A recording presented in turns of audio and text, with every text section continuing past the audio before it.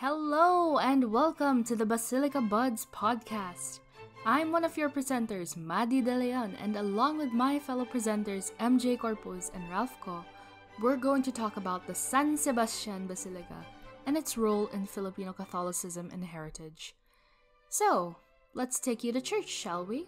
Before we begin to get to the meat of our talk, I'll be introducing basic facts about Gothic architecture and the San Sebastian Basilica so that you all can have a better understanding of what we're talking about. Why Gothic architecture? That's where the San Sebastian is modeled after as it falls under the Neo Gothic style, where people were inspired by the Gothic style many centuries after its boom. Don't let the name fool you, it's neither grotesque nor dreary as it suggests. The word Gothic during the mid 12th century until the 16th century in Europe gives life and hope to a lot of people. This is because after the fall of the Roman Empire, Roman citizens decided to live in the countryside since they felt that they weren't safe in their city anymore. The French monarchy was in poor shape and feudal landowners exerted considerable power. In the mid 12th century, industrialization and the rise of trade brought people back to cities, and this is where the Gothic style started. Gothic architecture is characterized by the following elements. Large stained glass windows, pointed arches for load bearing and incidentally an aesthetic choice as well, ribbed vaults for structural stability, flying buttresses for even load distribution, especially for the roofs, and finally, ornate decorations, most notable of which being the gargoyles, which you might have seen or heard of, especially in notable Gothic cathedrals like Notre Dame in France. Now that you know the very basics of Gothic architecture, let's then get to the Neo Gothic all steel church located in Quiapo, Manila, the San Sebastian Basilica. It began construction in 1881, finished in 1891, meaning it took 10 years to build. It is run by the Order of Augustinian Recollects as a place of reverence for Our Lady of Mount Carmel. It is a minor basilica, meaning it has significance in the Catholic Church, but it is not one of the four main church buildings of the Pope. It is an all metal church which helps it combat destruction and damage from calamities. Many international efforts were involved in its construction, with a Spanish architect, a British foreman, a Frenchman being in charge of its foundation, Belgians providing the metal, as well as a Belgian engineer there to oversee the project, and Germans made the steel glass windows. It is a neo Gothic architecture style church building and is one of the few remaining churches in the Philippines with its original interior still intact. So the information and the history is there, but we wanted to know what the people thought about it, as churches are for the people to communicate with God, right? The best way to know about a work of art is why human beings care so much about it. After all, architecture is a form of art, and art is the expression of the human soul. What we did is that we surveyed 10 people asking them qualitative questions about the design of and significance of the San Sebastian Basilica in Filipino Catholicism and overall heritage. For the discussion of these questions, I now hand you over to my co presenters MJ Corpus and Ralph Ko. Thank you for that, Maddie. Hello, everyone. I am Ralph Ko, and as what Maddie said, we are here today to talk about the questions that we asked in our survey regarding the San Sebastian Basilica. The first question that we asked was Do you think that the interior and structure of San Sebastian Basilica is considered Gothic architecture? Why or why not?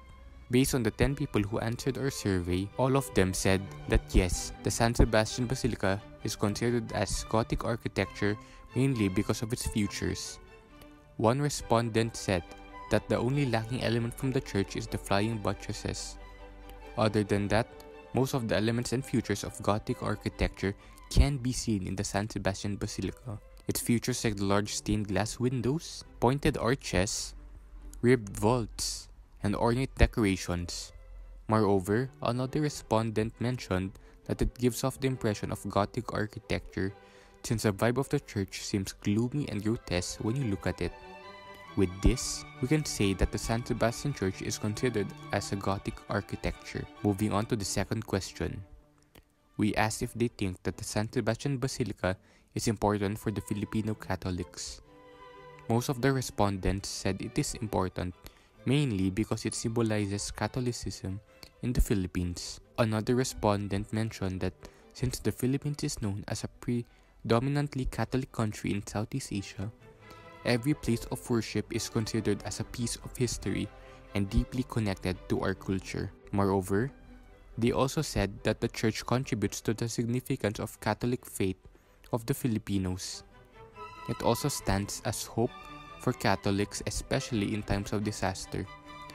With this, we can say that San Sebastian Basilica is important for Filipino people as it not only symbolizes Catholicism in the Philippines, but it also shows the rich culture and history of the country.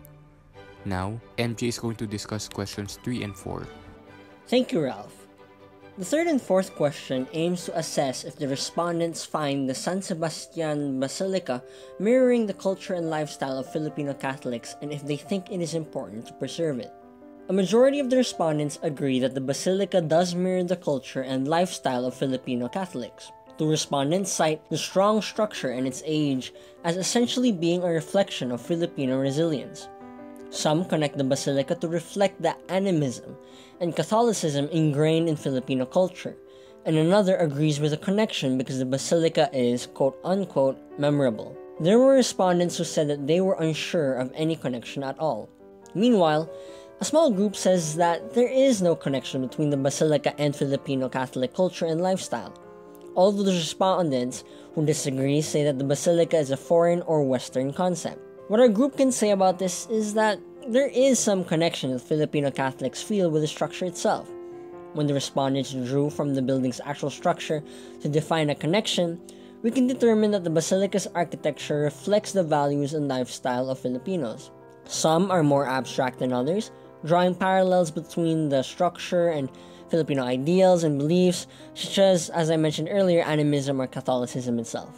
For the fourth question, we asked our respondents if they think that it is important to preserve the San Sebastian Basilica, and surprisingly, a lot of them agreed that it is in fact important to preserve it. Some support their answer that the basilica is a place of worship and is thus very important to Filipino Catholics, while others claim that it alone is a beautiful work of art, and because it is art, it must be preserved. There were also a few who said that the basilica is one of the few historical steel structures in the Philippines left, this uniqueness, according to them, is enough to justify the basilica's preservation.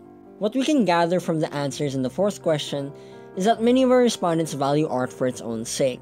This means that Filipinos place a high degree of importance for the San Sebastian Basilica because it is a beautiful place. The other answers tell us that the basilica possesses a unique influence on the people and place around it, either religiously or culturally.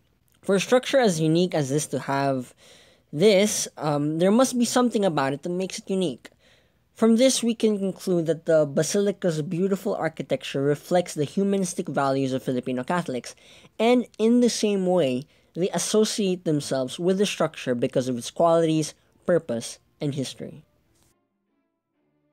Our last question is that we asked if San Sebastian should be part of the UNESCO World Heritage Sites. According to NPS.gov, a World Heritage Site is a natural or cultural site that demonstrates influence or significance in a global context, i.e., has outstanding universal value, and has been inscribed on the World Heritage List by the United Nations Educational, Scientific, and Cultural Organizations, or UNESCO's World Heritage Committee. So, what did our respondents think? Surprisingly, all of them agreed that the San Sebastian Basilica deserves to be a UNESCO World Heritage Site because of many reasons, from its construction to its historical significance, as well as its breathtaking architecture. However, what stood out the most for a lot of our respondents is the fact that San Sebastian is one of the few all steel structures in the entire world. They think that that unique quality on its own should have this church be in the running for a UNESCO World Heritage Site title. Who knows? Only time will tell. So, what do you think about the San Sebastian Basilica?